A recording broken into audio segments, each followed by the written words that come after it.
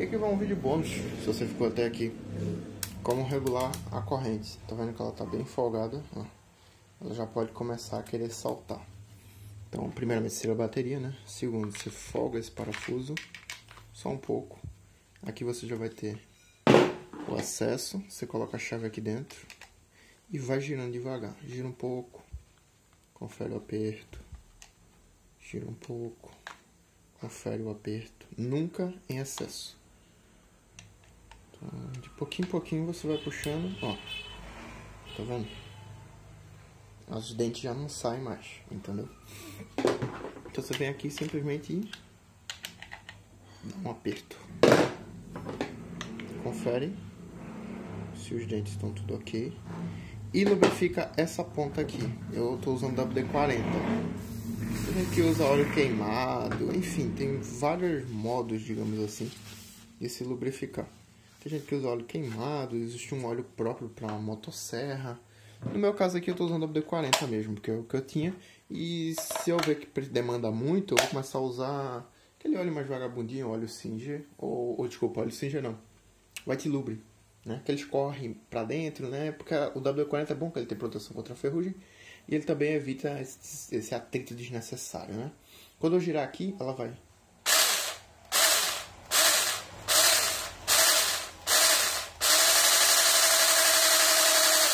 ela vai se lubrificar, tá vendo? E aí você confere o aperto, tá vendo? Quando você for conferir o aperto, fora, tá? Então aqui você confere. Hum.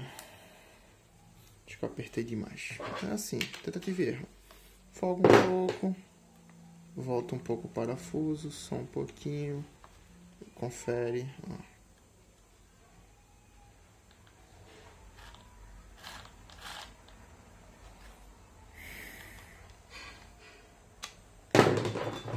aqui, fecha, coloca a bateria.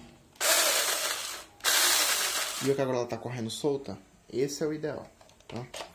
Que é porque ela não tá muito apertada, porque essas de mini, mini, mini sabre, elas não tem rolamento aqui na ponta, não tem aquelas engrenagenzinhas que fazem ela correr só aqui em cima e aqui embaixo, não.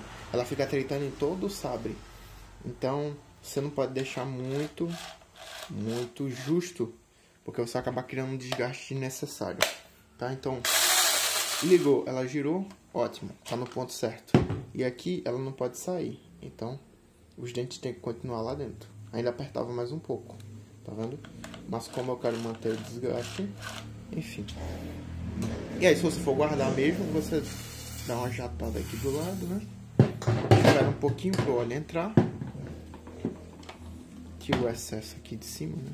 Da, do sabre, porque o sabre não faz diferença, tá lubrificado. Mexe um pouco, vai espirrar um pouco de, de óleo e tá tudo certo. Corrente lubrificada. Outra coisa também, quando a corrente ela vem de fábrica, ela vem meio dura, ressecada por causa do tempo, ou enfim.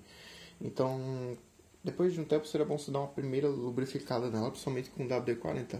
Porque olha como ela fica soltinha, tá vendo? E aqui ela tem o deslize. Cuidado para não pegar nos dentes, tá? Você pega nessa emenda aqui, tá vendo? Ó, na emenda. E aí você tem acesso. E aqui você vê os dentes, ó. Já dá para apertar mais. Então bora lá. Aqui folga um pouquinho. Aperta um pouquinho. Confere. Mais um pouquinho. Só depois de lubrificada, ela vai começar a aparecer o essa questão, ó, ficou muito dura. Então, folga. Pronto. Agora a gente aperta, tá? E bota pra rodar. Perfect.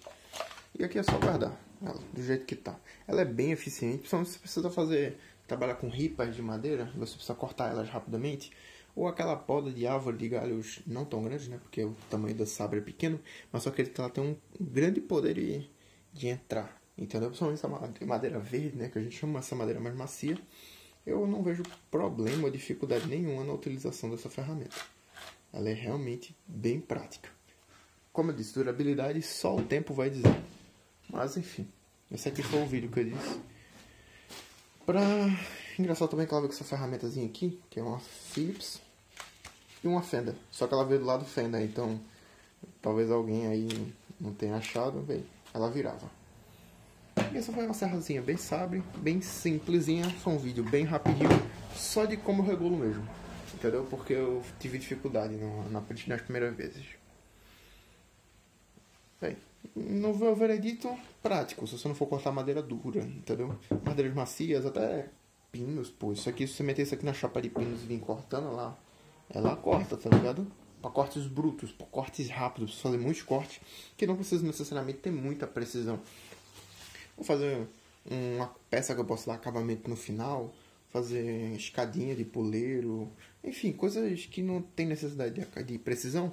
Você faz o corte rápido e no final você dá acabamento, entendeu? E com certeza poda. Isso aqui é uma mão na roda para quem faz poda.